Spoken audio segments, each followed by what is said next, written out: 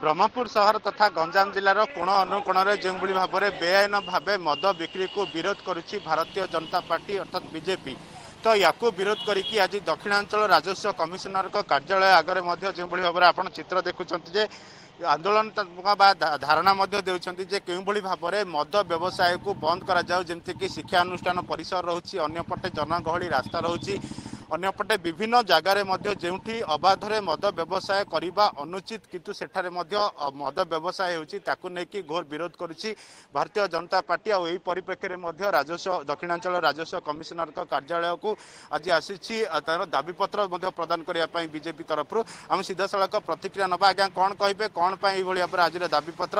କ'ଣ ପାଇଁ ତୀବ୍ର ବିରୋଧ କରାଯାଉଛି ଯେ ଯେଉଁଭଳି ଭାବରେ ଅବାଧରେ ମଧ୍ୟ ବିଭିନ୍ନ ଜାଗାରେ ମଦ ବ୍ୟବସାୟ ହେଉଛି? କ'ଣ କହିବେ? ବହୁବାର ଭାରତୀୟ ଜନତା ପାର୍ଟି ଏ ସମ୍ପର୍କରେ ଅବଗତ କରିଛି ଇଏ ଜନଗହଳି ଜାଗାରୁ ମନ୍ଦିର ସ୍କୁଲ ଥିବା ଜାଗାରୁ ତୁରନ୍ତ ମଦ ଦୋକାନ ଉଚ୍ଛେଦ କର କିନ୍ତୁ କେହି ମାନିଲେ ନାହିଁ ମାନୁନାହାନ୍ତି ମଧ୍ୟ ଏବେ ଅବାଧରେ ବେଧଡ଼କ ଯୋଉଭଳି ଭାବେ ଖୋଡ଼ା ସିଙ୍ଗିଠାରୁ ଆରମ୍ଭ କରିକିରି ସାରା ବ୍ରହ୍ମପୁରରେ ଏବଂ ଆସ୍କା ରୋଡ ପର୍ଯ୍ୟନ୍ତ ମଦ ଦୋକାନ ଖୋଲିଛି। ଯୋଉଠି ଜନଗହଳି ଯୋଉଠି ମନ୍ଦିର ଯୋଉଠି ସ୍କୁଲ ସେଇଠି ମଦ ଦୋକାନ ଇଏ ଆଖି ये आखि था तो आखि बुझी प्रशासन आज भारतीय जनता पार्टी बाध्य दक्षिणांचल राजस्व कमिशन दृष्टि आकर्षण करुच्ची जे तुरंत अविलंबे मद दोकान उच्छेद जनगहली जगार मंदिर स्कूल थी जगार जदि न हुए तेल भारतीय जनता पार्टी राजरास्ता को ନିଶ୍ଚିତ ଭାବେ ଯେମିତିକି ଆମେ ପ୍ରତିକ୍ରିୟା ନେଉଥିଲେ ଯେଉଁଭଳି ଭାବରେ ଭାରତୀୟ ଜନତା ପାର୍ଟିର ମଧ୍ୟ ଦାବି ଏହା ରହିଛି ଯେ ଜନଗହଳିପୂର୍ଣ୍ଣ ରାସ୍ତା କଥା କହିବା ପ୍ରତ୍ୟେକଟି ସ୍କୁଲ କଥା କହିବା ବିଦ୍ୟାଳୟ ପରିସର କଥା କହିବା ସାର୍ ବର୍ତ୍ତମାନ ପକ୍ଷରେ ଯଦି ଆମେ ମଦ ବ୍ୟବସାୟ କଥା ଚିନ୍ତା କରିବା ବର୍ତ୍ତମାନ ଲକଡାଉନ ସଟଡାଉନର ପ୍ରକ୍ରିୟାକରଣ ଚାଲିଛି।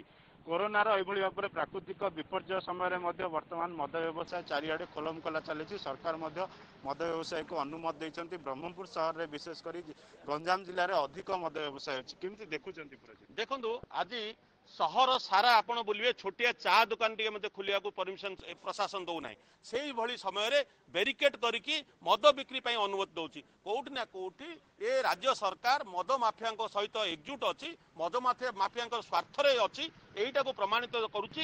ସେଇଥିପାଇଁ ଆଜି ମୁଖ୍ୟମନ୍ତ୍ରୀଙ୍କୁ ଆମେ ଅନୁରୋଧ କରୁଛୁ আজি পর্যন্ত যা মুখ্যমন্ত্রী কিন্তু সবু কেবল ঠকি চালিয়ে সবুলে কহতি ব্রহ্মপুরক মুখ্য সমস্যা পা আজ পা সমস্যা দীর্ঘ একুশ বর্ষ শাসন কালে দুই বর্ষ হল উদ্ঘাটন কলে জানি বিল পা পৌঁছলা না ব্রহ্মপুর খলিকোট কলেজ কথা কহা খলিকোট কলেজের অর্ধারু অধিক সিট খালি অছি শিক্ষক পোস্ট খালি অছি আজি পর্যন্ত পূরণ হয়ে পারা না আজ আপনার কহবে ইয়ে কথা ড্রেনেজ কথা ড্রেনেজ কথা যে ছোটিয়া বর্ষা হলে ব্রহ্মপুর সহর কৃত্রিম হ্রদর সৃষ্টি করছে একুশ বর্ষ শাসন কালে তার সমাধান হয়ে পারা না ব্রহ্মপুর সহরকু কমিশনারেট পুলিশ করবু বলি ব্যবস্থা ঘোষণা কলে কিন্তু সেই ঘোষণা ঘোষণার হি রহিগলা আজ ব্রহ্মপুর মেডিকালর অবস্থা সুধারিবা গোটিয়ে পটে এইভাবে ভাবে সমস্যা দিনকু দিন অন্য পটে মদ ব্যবসায়কু প্রোৎসাহন নিশ্চিত ভাবে ইহা স্পষ্ট অনুমান হচ্ছে যেতবে চা দোকান টিকে সান পান দোকান টিকে কি জলখিয়া দোকান টিকে খোলিয়া অনুমতি দেউনা সে সময় মদকু অনুমতি দিয়ে স্পষ্ট প্রমাণিত করে যে এ সরকার মদুয়া